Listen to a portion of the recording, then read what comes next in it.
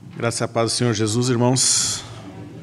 Vamos abrir a Sagrada Escritura na carta de Paulo aos Romanos, capítulo de número 13.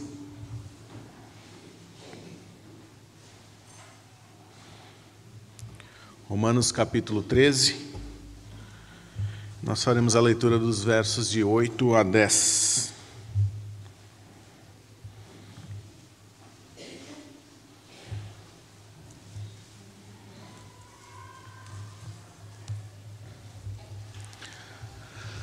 A santa e inerrante palavra de Deus nos diz assim: Não fiquem devendo nada a ninguém, exceto o amor de uns para com os outros, pois quem ama o próximo cumpre a lei.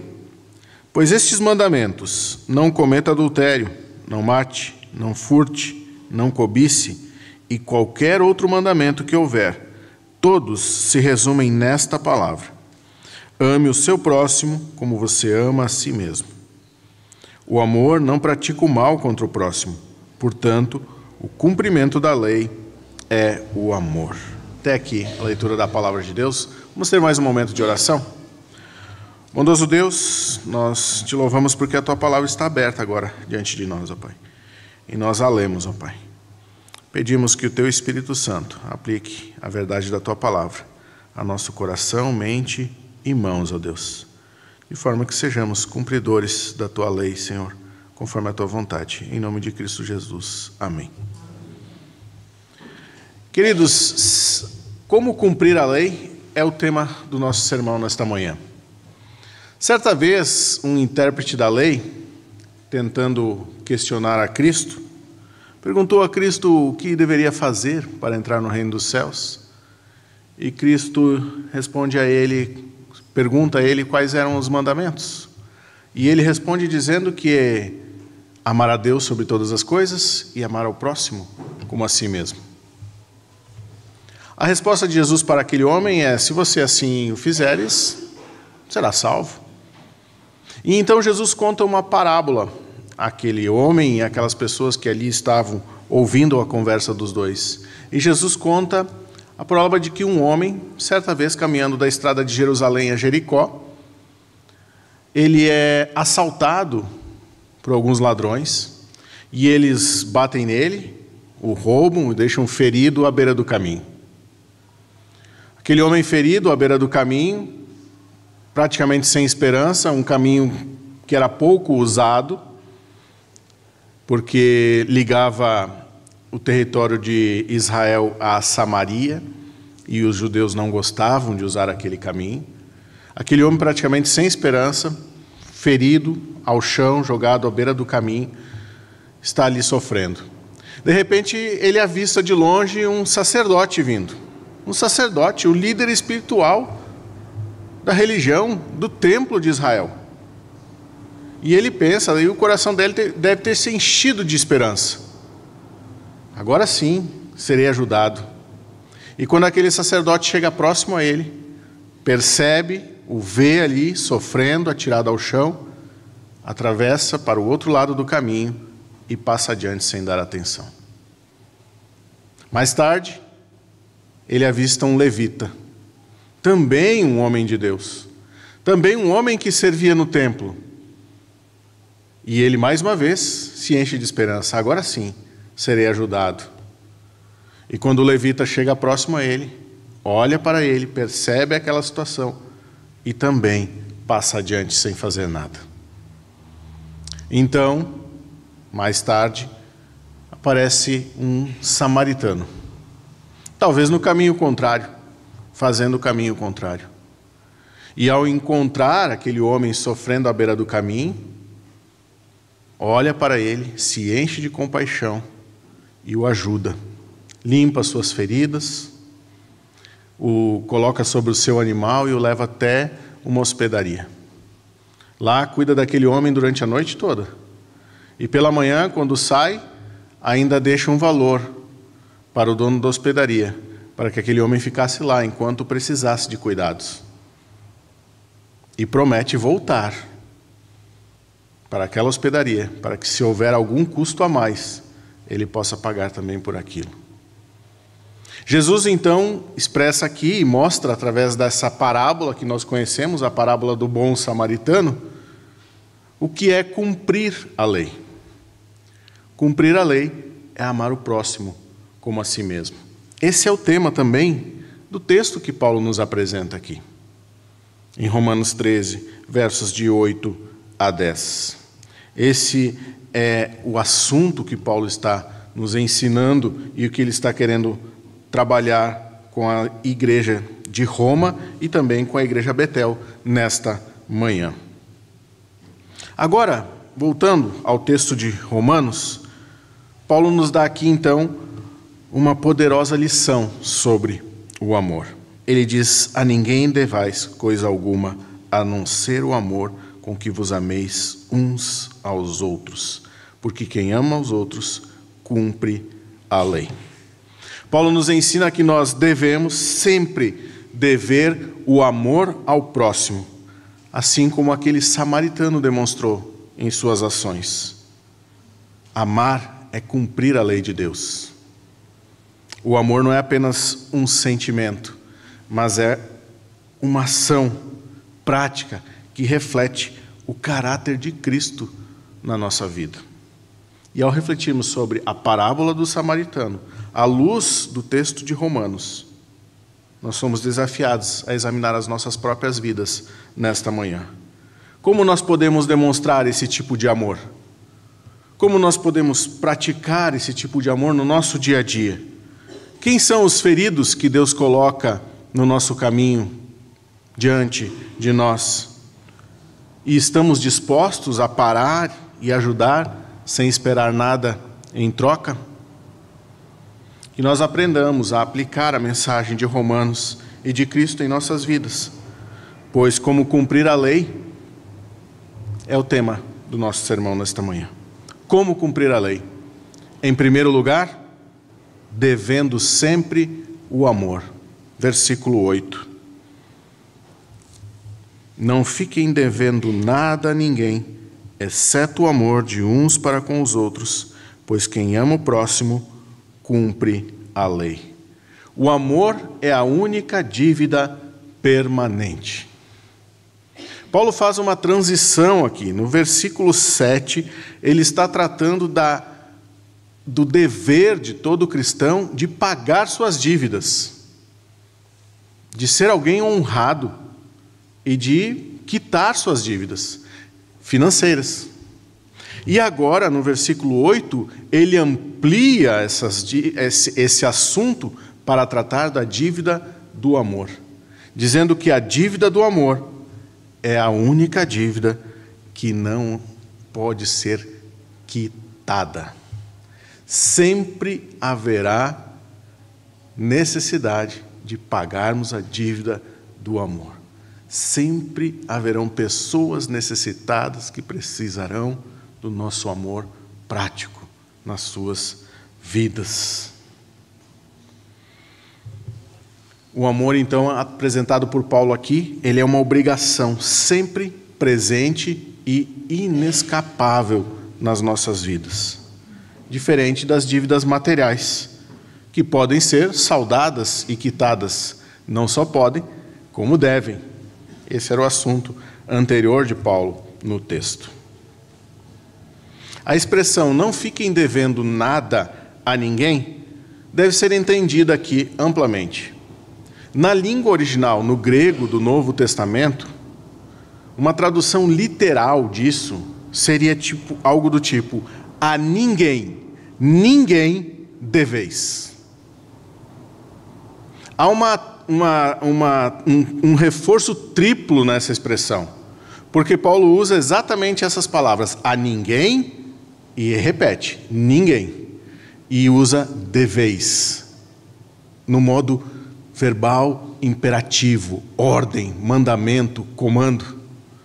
Trazendo todo o peso a essa expressão. A ninguém, ninguém deveis. Senão o amor uns aos outros. Porque o que ama o outro, e aí Paulo usa um termo que é o outro diferente significa que ele está dizendo não somente os seus irmãos, mas amar os outros, os diferentes.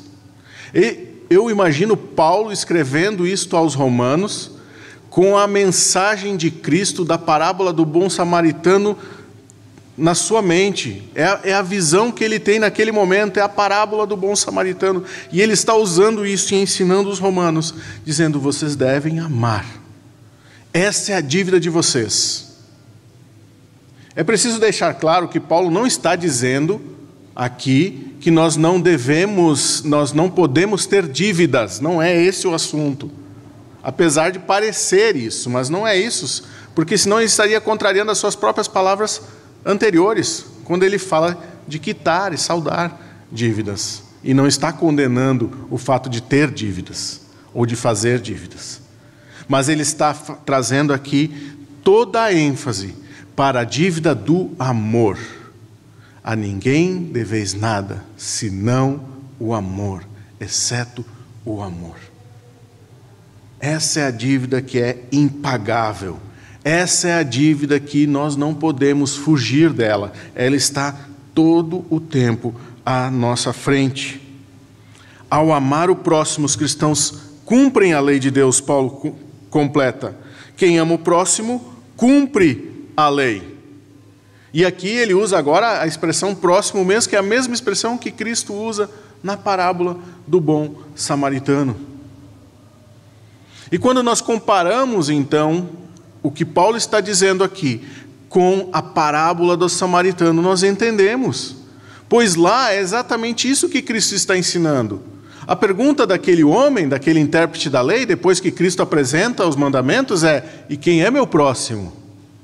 E Cristo então conta a parábola do samaritano, mostrando para aquele judeu que se achava conhecedor e cumpridor da lei, de que ele não amava como a lei exigia. Porque o samaritano, que era diferente dele, não recebia seu amor. E Cristo demonstra por aquela parábola de que o samaritano amava biblicamente, amava de forma da forma que Deus quer que ame e ele, como judeu, como intérprete da lei, não o fazia. É, é o que Paulo está ensinando aqui também. O amor ao próximo nesse sentido. Amar o próximo abrange tanto crentes quanto não crentes, e essa é uma obrigação que nunca termina. O amor é a chave para obedecer à lei de Deus. Nós lemos isso também no texto de 1 Coríntios, capítulo 13. Você pode fazer as melhores ações, se não estiverem baseadas no amor, elas não têm valor nenhum. É o amor que é esse vínculo, é o amor que faz com que essas ações tenham algum valor. As ações por si só não têm valor algum. Portanto, o amor é essa única dívida que os cristãos devem pagar continuamente, sendo uma obrigação permanente e universal. E Paulo nos chama essa vida, então, de amor constante e inabalável, que reflete a natureza de Cristo, o caráter de Cristo, nas nossas relações diárias. Imagine que você esteja no trânsito e de repente alguém lhe dá uma fechada, lhe corta a frente, e você tem que dar aquela, aquela pisada no freio, né? forte para não bater naquele carro. A sua reação natural é se irar. Mas lembre-se que você é um devedor do amor. Lembre-se que você deve o amor. E o que você faz então, como um crente que lembra que é um devedor do amor nesse momento? Perdoa e segue em frente. Talvez um colega de trabalho seu que não seja crente está passando por um momento difícil na sua vida. Isso está afetando o seu trabalho, a sua vida profissional. E você pense, eu tenho as minhas próprias responsabilidades. Talvez o seu lema no momento desse seja ema, ema, ema, cada um com o seu problema. Mas lembre-se, você é um devedor do amor. E você, como um devedor do amor, olhará para aquela situação e oferecerá ajuda a este colega. Você se colocará à disposição para ajudá-lo, para compreender, para ouvir,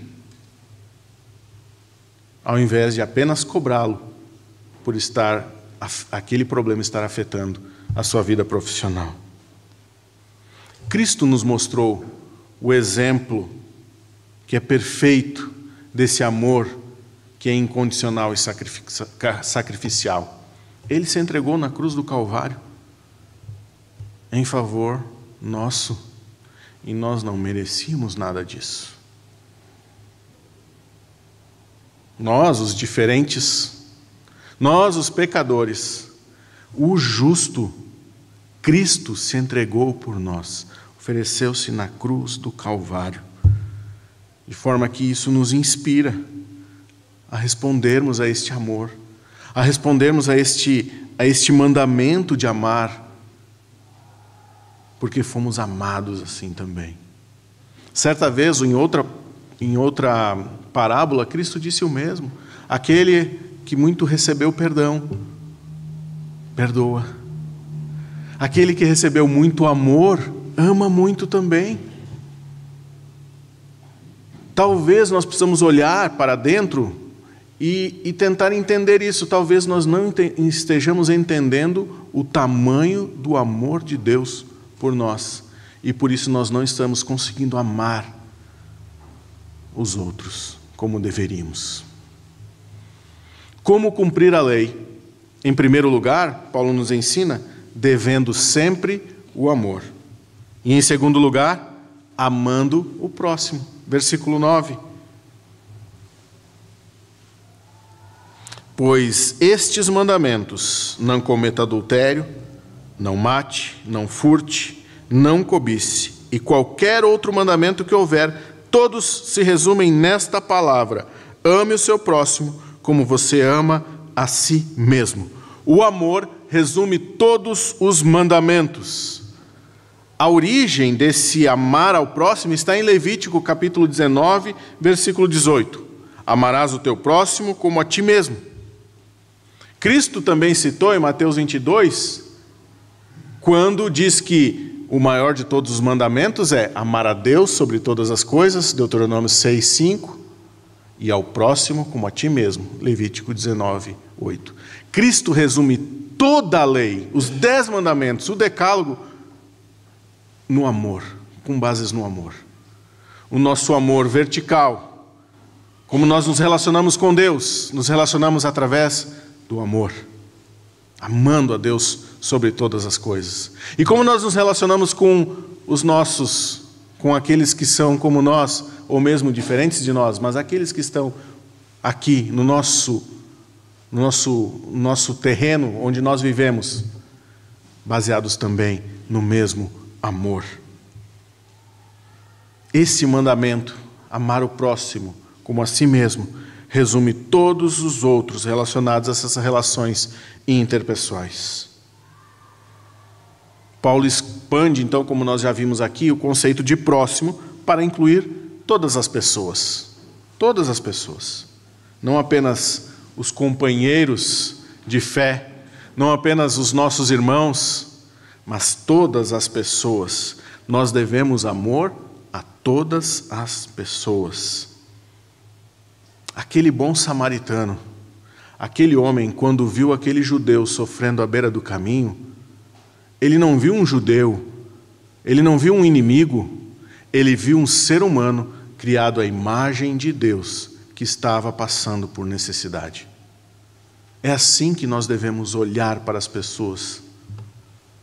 São pessoas criadas à imagem de Deus e que estão enfrentando necessidade. E se assim estão, nós somos devedores e devemos amar. O amor ao próximo encapsula todos os mandamentos da lei.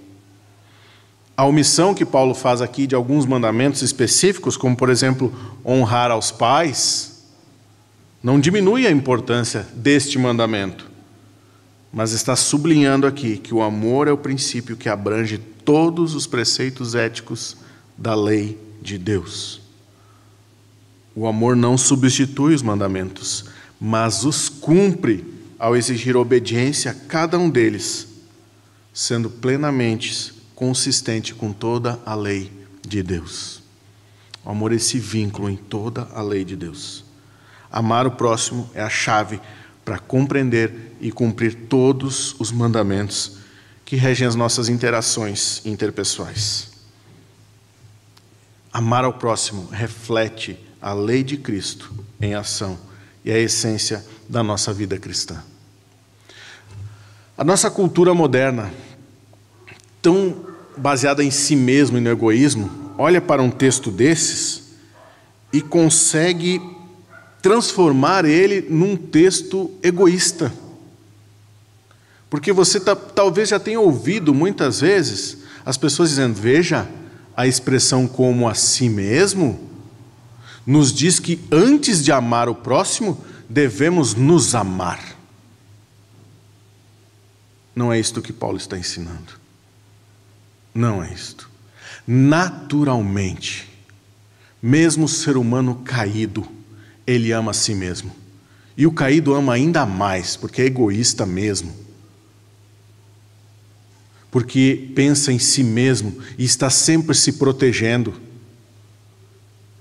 É disso que Paulo está dizendo, é isso que Paulo está ensinando. Ele está ensinando: você ama a si mesmo, você deve expressar esse amor aos outros. O amor que Paulo ensina não é um amor que primeiro eu amo a mim para depois amar os outros, é um amor sacrificial, onde eu abro mão de mim para amar o outro, para ajudar o outro. Você já pensou se Cristo esperasse esse tipo de situação para nos amar? E ele espera, não, eu, eu não posso abrir mão por conta de, por eles. Não, meus irmãos, não é isso que Paulo está ensinando. Mas a nossa cultura consegue transformar um texto maravilhoso desse em algo completamente egoísta, onde as pessoas são chamadas a, a se amarem. Nós devemos amar nossa vida nós devemos amar a nós mesmos, nós somos criados à imagem e semelhança de Deus, essa é uma verdade. Mas quando lembramos que somos devedores do amor e que devemos amar o nosso próximo, devemos abrir mão de nós. Abrir mão das nossas, dos nossos desejos, muitas vezes, em prol do outro. É isso que Paulo está ensinando. Pense no seu dia a dia, em algumas situações Talvez você esteja no supermercado, talvez você esteja em casa, fazendo algo. As mulheres talvez fazendo o almoço. E, e o marido está para chegar do trabalho, para o almoço. As crianças da escola. E falta um ingrediente. E esse ingrediente não pode faltar para o almoço. Então ela para tudo e corre para o supermercado. Corre para o supermercado. Com aquela pressa, eu preciso ir lá rapidamente eu não vou nem passar no caixa, eu vou direto naquele caixa rápido lá de alto atendimento, né? Porque é mais rápido ali, não tem fila, e, e vou para lá rapidamente. Mas aí está no corredor e de repente tem uma senhorinha tentando pegar um rolo de papel higiênico no último andar do, da prateleira. E ela não consegue alcançar. E você olha para a situação e percebe, ela precisa de ajuda. Mas eu estou com tanta pressa eu já estou com o meu produto na mão, eu já estou até com o cartão, já tirei o cartão da carteira, o produto e o cartão juntos, segurando aqui, correndo para o autoatendimento. O que Paulo está nos ensinando, o que Cristo está nos ensinando, você vai abrir mão. Você vai abrir mão e você vai dispensar esse tempo e você vai ajudá-la. É isso, é colocar esse amor em prática, é abrir mão de você mesmo. Talvez você esteja vendo alguém sendo injustiçado, maltratado. E mais uma vez, naturalmente, nós pensamos: eu já tenho problemas suficiente, por que me intrometerei em mais um problema?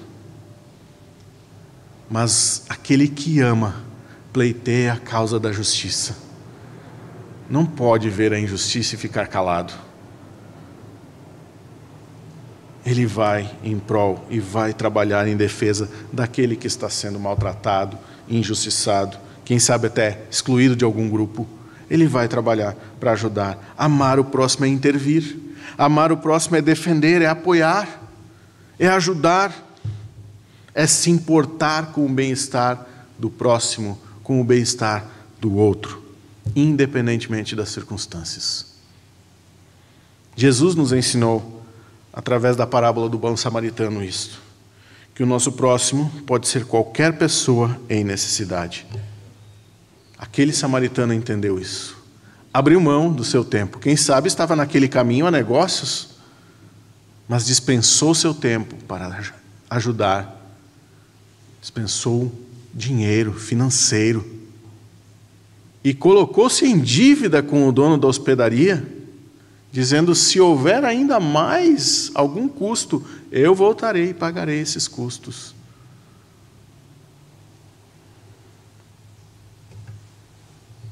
Como cumprir a lei de Deus? Em primeiro lugar, devendo sempre o amor. Em segundo, amando o próximo. E em terceiro e último lugar, praticando o amor. Veja o versículo 10. O amor não pratica o mal contra o próximo, portanto, o cumprimento da lei é o amor. O amor não faz mal ao próximo. Mas por que Paulo está usando o mandamento de forma negativa aqui? Por que ele não diz o amor pratica o mal, como eu estou propondo no tema? Por que ele não diz o amor pratica o bem, né? Desculpe. Por que ele está dizendo o amor não pratica o mal? Porque ele está seguindo a regra áurea dos dez mandamentos: não matarás, não cobiçarás, não furtarás, não adulterarás. O mandamento negativo não significa que não, não contenha, não contenha leis que são positivas nele. Por exemplo, não matará significa o quê? Apenas não matar? Não, significa promover a vida. Não adulterará significa apenas não adulterarás? Não, significa também amar a sua esposa, amar o seu esposo. Não furtarás significa apenas não roubar? Não, Paulo mesmo, quando ensina aos Efésios, diz que aquele que furtava não furte mais, pelo contrário, trabalhe para que tenha condições de ajudar ao próximo. Quando Paulo diz o amor não faz, não pratica o mal contra o próximo, ele está dizendo o amor faz o bem. O amor é prático. O nosso problema é que nós absorvemos essa ideia moderna de que amor é sentimento. E talvez a gente não faça as coisas porque não sinta. E fique esperando o sentimento do amor. Amor não é sentimento, amor é ação. O exemplo máximo de amor é Cristo, é Deus. E Deus não sentiu o amor por nós, Deus nos amou. Deus nos amou, uma ação, e Ele age em nosso favor. É assim que nós somos chamados a amar também. O amor genuíno é incapaz de causar danos aos outros, e toda a lei de Deus proíbe o mal contra o próximo está apontando para uma vida que é guiada pelo amor. Praticar o amor significa abster-se de qualquer ação que seja prejudicial. Porque o amor resume a lei ao não fazer mal ao nosso próximo. Ação é algo ativo. Além de evitar o mal, o amor também promove o bem refletindo a verdadeira intenção da lei divina. O amor, então, é tanto uma abstenção do mal, quanto uma dedicação ativa ao bem-estar do nosso próximo, contrariando a nossa inclinação natural e promovendo ações, então, que são positivas na vida das pessoas. Naturalmente, o que nós fazemos é praticar o mal. Paulo disse isso nessa mesma carta aos Romanos, no capítulo 3, versículo 12: Não há ninguém que faça o bem, não há ninguém. Agora, nós, como alcançados pela graça divina, temos essa natureza mudada. E agora nós queremos fazer o bem. Nem sempre o fazemos, mas agora nós queremos fazer o bem, de forma que é necessário ouvir mandamentos como esse. O amor não pratica o mal. Nós precisamos disso, porque é natural nosso fazer o mal. É natural do ser humano, quando precisa de alguma coisa, passar por cima dos outros para conseguir aquilo que necessita. Mas o que Paulo está nos ensinando, o que Deus está nos ensinando é que não é assim. O amor não pratica o mal. Somos chamados então a viver este amor diariamente, permitindo então que esse amor guie nossas ações, nossas atitudes, transformando as nossas vidas e a vida daqueles que estão ao nosso redor. No seu ambiente de trabalho, pode surgir a tentação de você conseguir algo, ganhar alguma vantagem, passando por cima de um colega de trabalho. Quem sabe, levando os louros de uma ideia dele. Mas quando nós olhamos para este texto, o amor não pratica o mal contra o próximo. E quando nós entendemos essa verdade, nós não vamos agir desta maneira. É isto que Paulo está ensinando à igreja de Roma e à igreja Betel neste dia. Em casa, pode ser fácil perder a paciência com os membros da nossa família, especialmente em momentos de estresse. Mas o amor, conforme é descrito no texto que nós acabamos de ler, não faz mal ao próximo.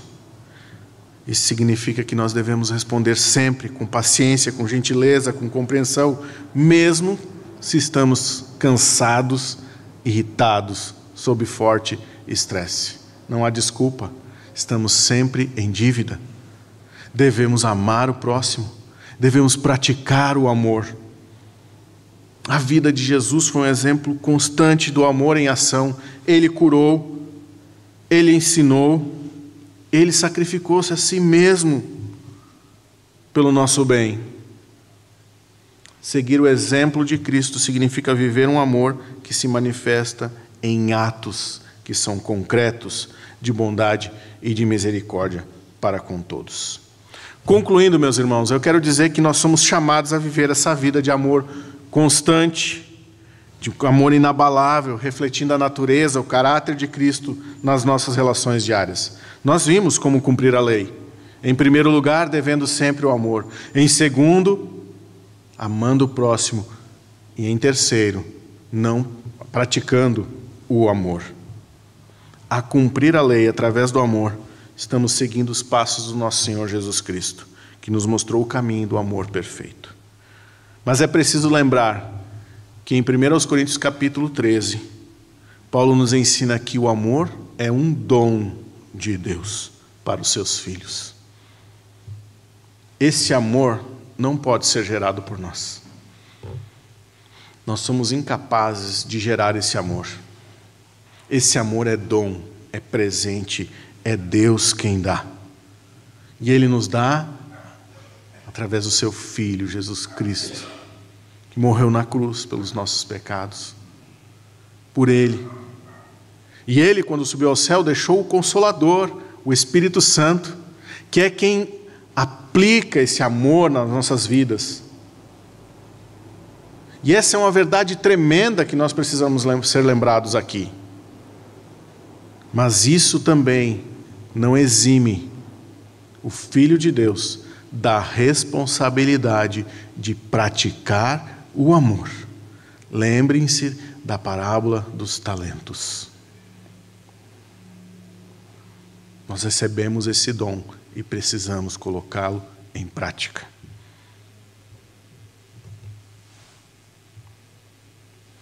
Que com a ajuda do Espírito Santo, na vida de cada um, vivamos essa vida que glorifique a Deus e abençoe aqueles que estão ao nosso redor. Que, ao permitirmos que esse amor de Deus, que Cristo Jesus, que habita em nós por meio do Espírito Santo, opere em nós este amor que nos foi dado e que tem sido sustentado por Deus em nós, nos dê também a força e nos impulsione para que nós sejamos praticantes deste amor verdadeiramente. Que sejamos vistos como cristãos, verdadeiros cristãos, pelo que nós falamos e pelo que nós fazemos. Que Deus nos abençoe, irmãos. Amém.